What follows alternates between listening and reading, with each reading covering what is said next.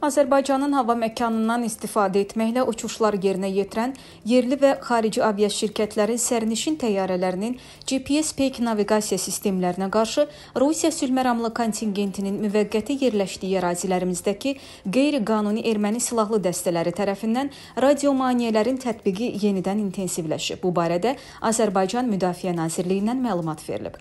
Hava məkanımızdan keçən uçuşların təhlükəsizliyinə təhdid yaratmaq məqsədi ilə qanunsuz silahlı birləşmələr növbəti təxribata əl atıb. Belə ki, avqustun 21-i saat 10:15-dən 10:23-ədək Füzuli-Bakı marşrutu üzrə uçuş yerinə yetirən Azərbaycan Hava Yollarının ATR 45 tipli sərnişin təyyarəsinə radio maneələrin tətbiqi nəticəsində GPS peyk naviqasiya sistemlərində fasilə yaranıb.